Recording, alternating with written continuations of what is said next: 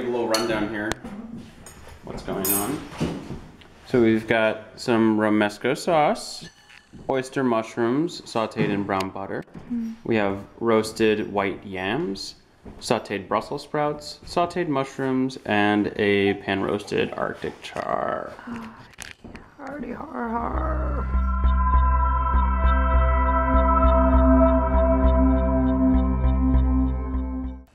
You know fish, right, Jesa? Yeah. You want to explain to Fallon why that's a good one? Well, so it, it looks right. So I am shredding up some Brussels sprouts.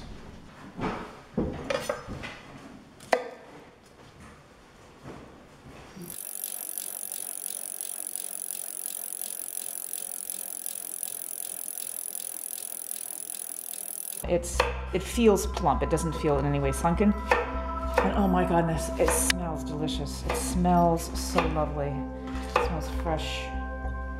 Shiny, slimy. Ever so slightly, but not yeah, Not in a bad way. not in a bad way.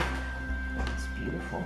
Yeah, Absolutely they do. beautiful. They do a They do a good beautiful job. job of it. Yes, they do.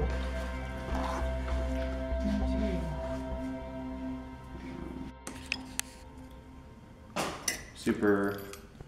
Here, let me give you a bite. Okay.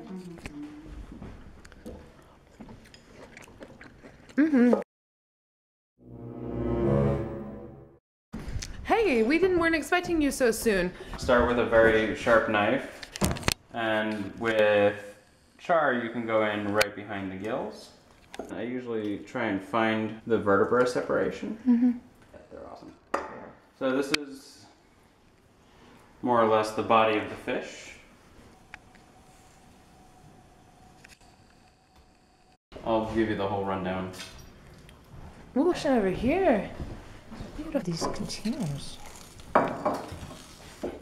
Oh, I'm jealous. All of my knives are light in a fire.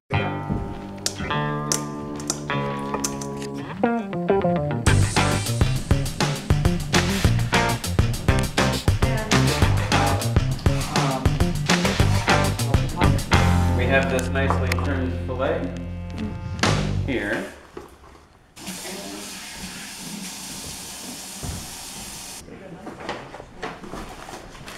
Brown sugar, salt. So my method here is pretty imprecise, but Tell us why you're using brown sugar instead of white. better flavor. Um, it's not actually ending up in the final product. It forms a hyper concentrated or saturated solution of salt and sugar at the surface. And it draws out the mm-hmm. liquids in the fish and at the mm-hmm. same time changes the structure of the proteins. Come back next week.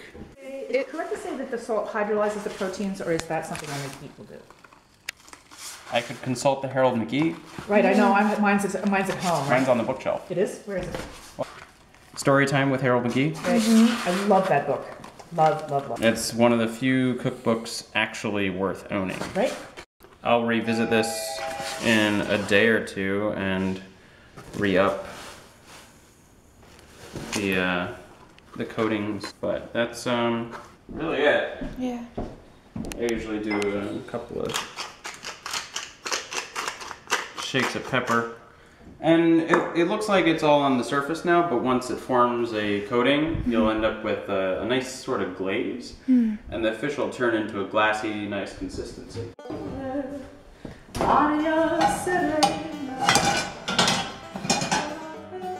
So we just have some roasted garlic there. I like to trim the skin back to the underside. Just When you push the fish down, uh, the skin tends to curl up anyway. It doesn't uh, force the belly of the fish to go like that, and then you end up with no crispiness. So take this opportunity to salt the fish. So you salt the fish beforehand?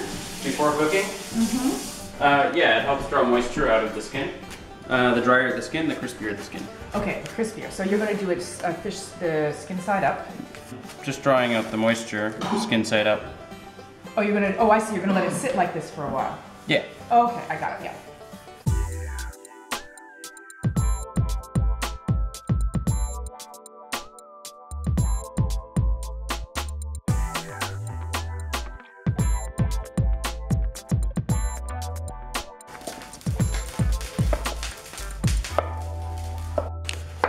Thin enough for you, or do you want it thinner?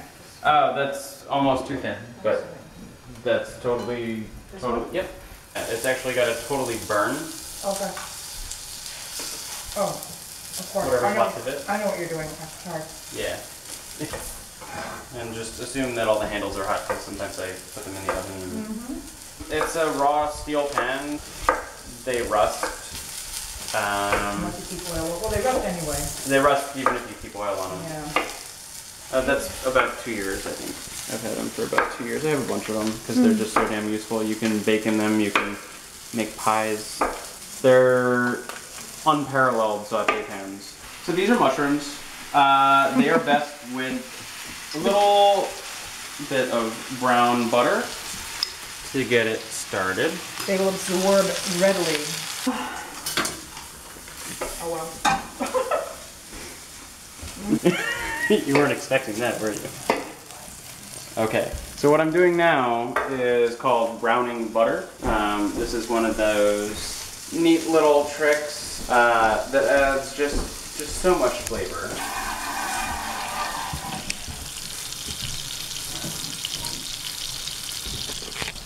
So what we're doing is we're evaporating all of the water out of the butter.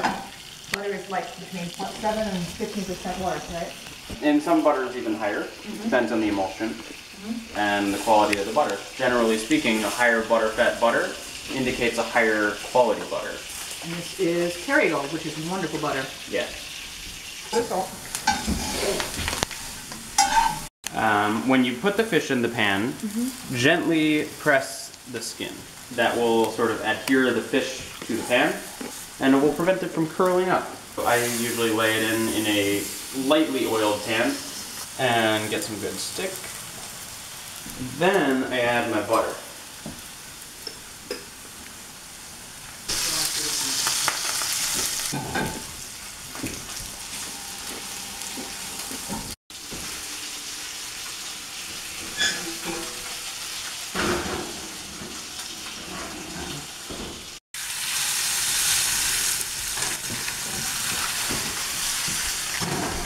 I do a minute under the broiler while I plate the rest of my scoop uh, of romesco as our base.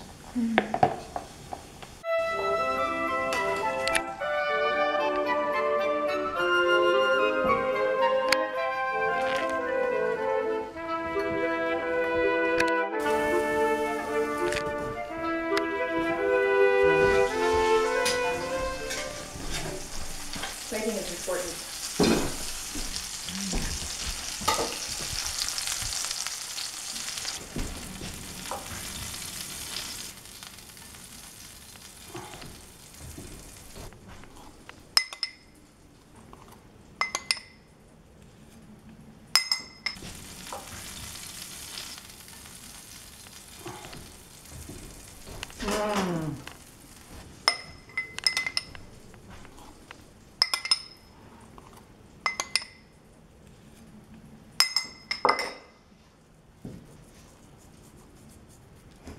is important.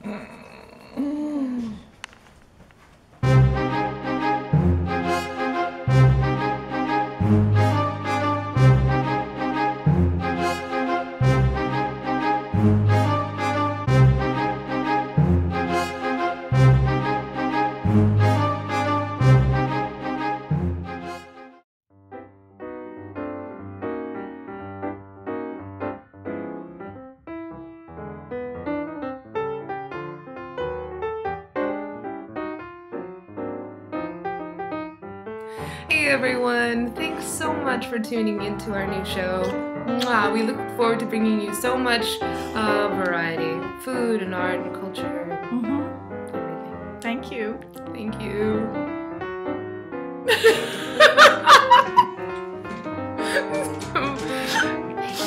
By the way, we we forgot to do the fennel salad. Oh well. Oh well. Supply all of you with the uh, ingredients though for the romesco. Mm, let's do that. Mm-hmm. So stay Stay tuned. tuned.